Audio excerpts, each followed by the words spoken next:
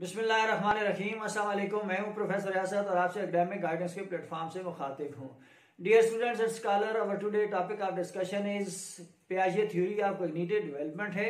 اس میں ہم دیکھیں گے کہ کوئی بھی چائلڈ کس طرح ڈفرینٹ سٹیجز سے گزر کر لرننگ ایکوائر کرتا ہے۔ ہینس یہ سب کچھ جاننے کے لیے you are advised to watch this video till the end further اگر آپ نے اس چینل کو ابھی تک سبسکرائب نہیں کیا، تو کائنڈلی سبسکرائب کیجیے لائک کیجیے اور شیئر کیجیے تاکہ دوسرے لوگ بھی اس سے استفادہ حاصل کر سکیں۔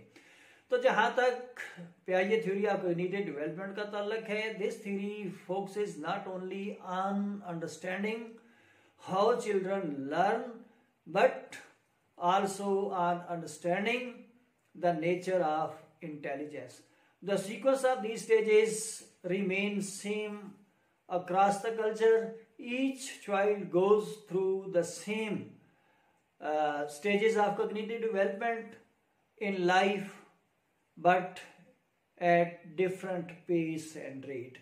These important stages are sensory motor stage from birth to 2 years, pre-operational stage from 2 to 7 years, concrete operational stage from 7 to 12 years and formal operational stage from 12 to onward.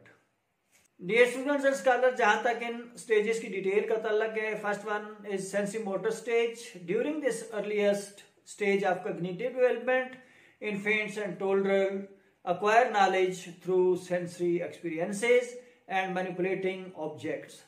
A child's entire experience at the earliest period of this stage occurs through basic reflexes, senses, and motor responses.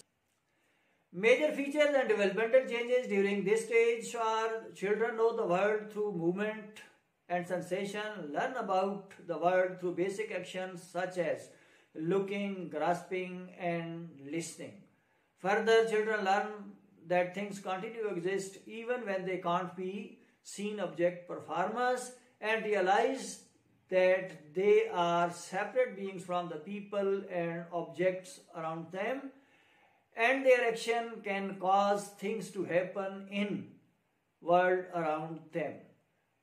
Hence children not only learn how to perform physical actions such as crawling and walking, but they also learn a great deal about language from the people whom they interact.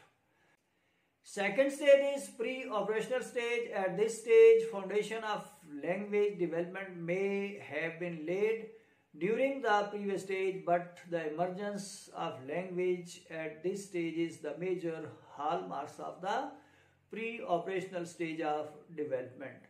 Major features and developmental changes occur during this stage are began to think symbolically and learn to use the words and pictures to represent objects. Further tend to be egocentric and struggle to see things from the perspective of others and getting better with language and thinking, but still tend to think in very concrete terms. Therefore, children become much more skilled at pretend play during this stage of development, yet they continue to think very concretely about the world around them. Third stage is concrete operational stage while children are still very concrete and literal in their thinking, at this point in development, they become much more adept at using logic. The egocentrism of the previous stage begins to disappear as child become better at thinking about how other people might view a situation. Major features and characteristics of this stage are begin to think logically about concrete events and began to understand concept of conversation. Fourth and final stage of this theory is formal operational stage.